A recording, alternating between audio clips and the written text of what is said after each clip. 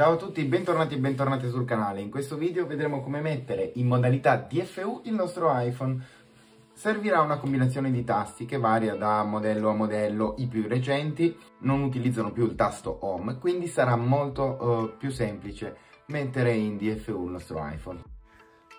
La modalità DFU serve principalmente per aggiornare il nostro dispositivo tramite vari software come iTunes ed altri, quindi basterà mettere in modalità DFU o di recupero il nostro iPhone e poi procedere con gli aggiornamenti e i vari ripristini.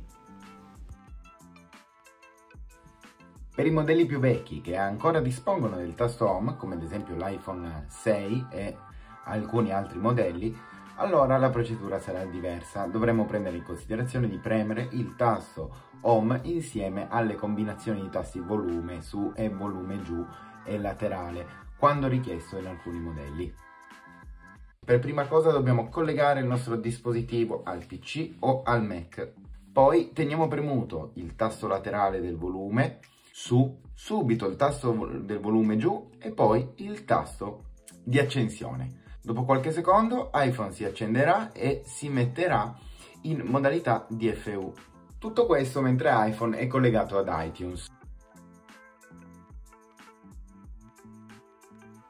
Attenzione però che a volte può succedere che iTunes non riesca a fare più uscire iPhone dalla modalità DFU e siamo costretti a ripristinare il telefono.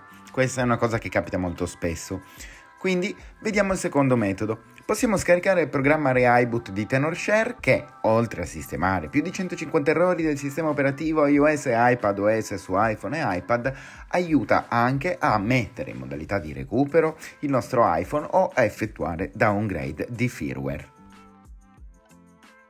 Tuttavia abbiamo un secondo metodo che è molto più semplice perché basterà collegare il nostro dispositivo al computer o al Mac e aprire il programma ReIBoot di TenorShare. ReIBoot metterà in modalità DFU il nostro iPhone con un semplice clic, quindi apriamo il programma, clicchiamo sull'opzione entra in modalità di recupero, attendiamo che iPhone entri in modalità di recupero quindi se vogliamo poi uscire dalla modalità di recupero sarà sufficiente cliccare sul pulsante di ReIBoot esci da modalità di recupero.